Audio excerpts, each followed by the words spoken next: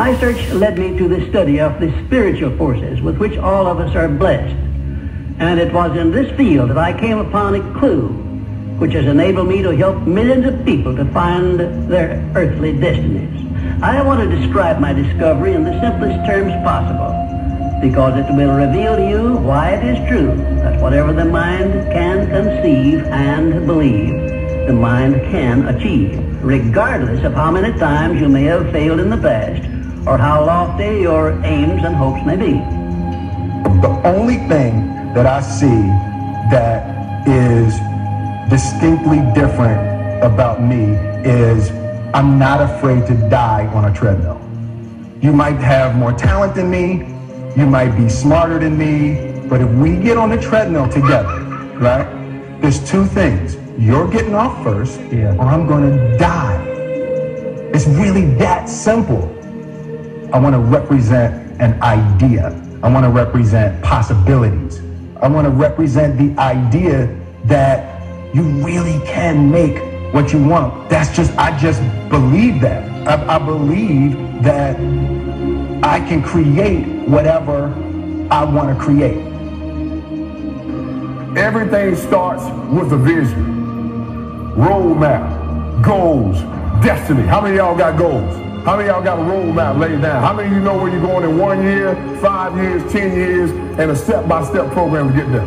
My mom would always say to me, don't worry about what it looks like right now. You got to see yourself down the road. I know it's tough that we live in a neighborhood, but start going online and seeing what it look like down the road. So no matter what you're seeing right now, you stay focused on the prize. Now let me give you an example of what I mean. My mom dropped me off in college. The first thing I did was this. I came, tore out a sheet of paper, I sat down and I wrote, I said, what do I want to do in college? What do I want to accomplish in college? I started writing it down. All American, all conference, Dean's List, graduated four years, master's degree, NFL, four or five in the 40. So I took that piece of paper, taped it on the side of my bed, and every morning I would visit my future, and every night I would visit my future. Now here's the funny thing. My teammates saw that for the first time, they couldn't stop laughing. This skinny guy, and you think you're gonna accomplish all that? We know what we call that, right? Dream killers. Dream killers will come in the form of alcohol, in the form of drugs, in the form of bad attitude, in the form you think you know it all. It'll stop a dream in a heartbeat. But I didn't let that bother me. I saved the course. And slowly but surely, here come all conference. Here come Dean's list. Here come four or five in the 40. Here come a phone call from the Philadelphia Eagles. Vision. That's the power of a vision. The problem with most people, the problem with most people is that you're not obs- obsessed with improvement. You're obsessed with making money.